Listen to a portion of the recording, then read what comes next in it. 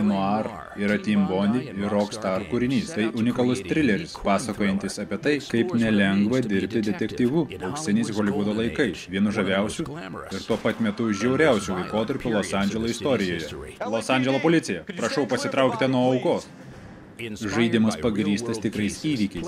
Žaidėjas detektyvo rolėje atskleidžia nusikaltimus ir išaiškina įvairias paslaptis Los Andželo mieste, atkurtame iki mažiausių smulkmenų. 1947-ieji. Tai laikotarpis, kada miestas įsitraukia į alkoholį, džiazą ir korupciją. Žaidimas susideda iš tokių klasikinių žaidimo elementų kaip susišaudimai. Meskit ginklus, bankas apsuptas policijos. Įkalčių ieškojimai ir apklausos. Tai jūsų lūpdažis?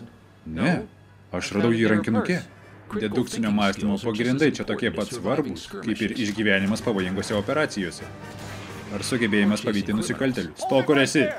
Jūs žaidžiate už Paulą Phelps, antro pasaulinio karo herojų ir pradedantį policininką, kuris stengiasi užglaistyti savo kalties jausmą po karo. Apie ką susimastai, Phelpsai? Prie to neįmanoma priprasti Bekovskį.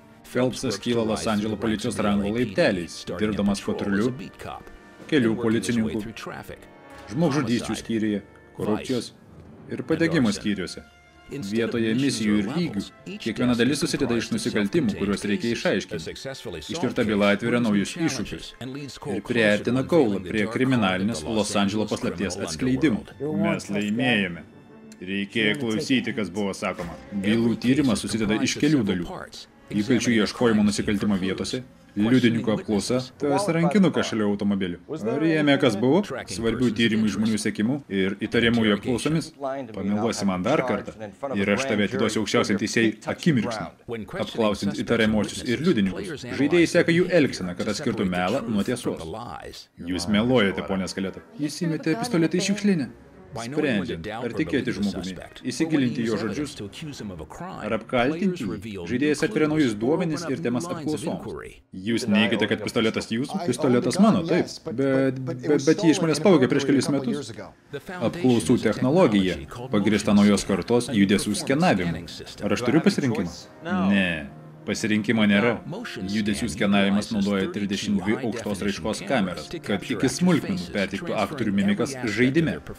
Nuo nežymaus antokių pakelimo, šyptelėjimo ar įniršio pratrukimo. Lerojaus abo, jūsų imtas.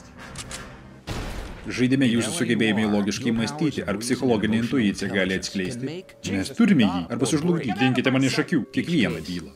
Šitas nestandartinis veiksmo žanro susiliejimas su tikru detektyvo darbu meta iššūkį tradiciniam žanrams ir sukuria unikalų trilerį, nukeliantį žaidėją į Los Andželo gyvenimą 40-aisiais metais. Štai kaip dirba tikras inspektorius, aiškinasi ir uždavinėja klausimus tol, kol prisikasa iki tiesos.